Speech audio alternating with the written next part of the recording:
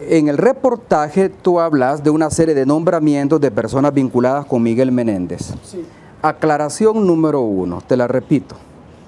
Esos nombramientos no los hace el presidente de la República. Número uno.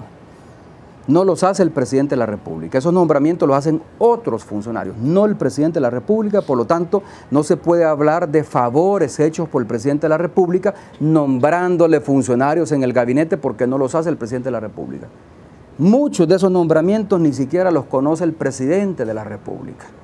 Si Miguel logró que se nombraran algunos funcionarios dentro de estas instituciones, que son amigos de él o parientes de él, esta es responsabilidad exclusiva de los presidentes de las autónomas donde fueron dados estos nombramientos. El presidente de la República no participa de eso. ¿Te parece al menos casual que todos tengan una relación con el señor Metcalfe? Ni siquiera te parece casual. No estoy en capacidad de calificarla. No estoy en capacidad de calificarla.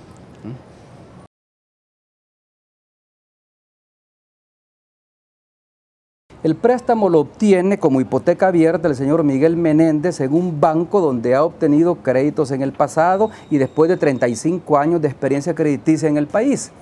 ¿Quién no le va a otorgar un préstamo porque el banco hipotecario se rige con las mismas normas que el resto de bancos a una persona que tiene calificación A, que es buen pagador y que además de eso da como garantía para el pago del préstamo porque es una hipoteca abierta una de sus empresas?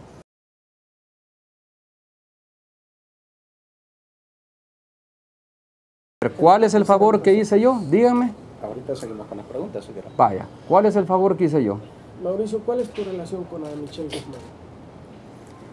Los temas de carácter personal no tengo por qué abordarlos. La señorita Michelle Guzmán, aunque yo les he dicho que no tengo por qué hablar de mis relaciones personales, pero ella trabajó un tiempo en Cancillería. ¿Cuánto tiempo? No lo sé. Y en virtud de su trabajo es que Cancillería, a través de la Dirección de Protocolo, le adjudicó un pasaporte diplomático con un tiempo perentorio. Porque estaba adjudicada o inicialmente se adjudicó a trabajar con protocolo de casa presidencial. Dejó de trabajar, el pasaporte por lo tanto ya no tenía vigencia. ¿Quién le otorgó el pasaporte? Cancillería. Presidencia no puede otorgar pasaportes. No hay ningún memorando ni ninguna orden de casa presidencial pidiendo un pasaporte diplomático para nadie. No solicitamos pasaportes diplomáticos para nadie. Y todavía mucho más. Si después de que esta persona deja de trabajar, sigue teniendo el pasaporte diplomático, es responsabilidad de Cancillería y de la Dirección de Protocolo cancelar o no ese pasaporte no es responsabilidad de la presidencia de la República. Cuando tú dices vayan a preguntar al canciller, lo hicimos. Lo hicimos. ¿Y él qué dijo? Él dice, eso fue directamente de Casa Presidencial, la dirección de protocolo. Yo lo desafío a que me lo demuestre. Bueno, perfecto.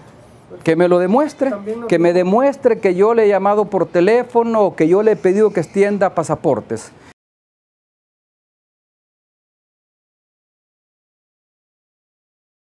Mentiras.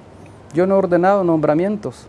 Yo he sido el presidente que menos nombramientos he pedido. Los nombramientos que he solicitado ha sido aquellos que me toca a mí decidir. Bueno, entonces, entonces decidan ustedes a quién le van a creer más. Si a él que dice que yo ordené, yo digo que yo no he ordenado ninguna contratación dentro de Cancillería.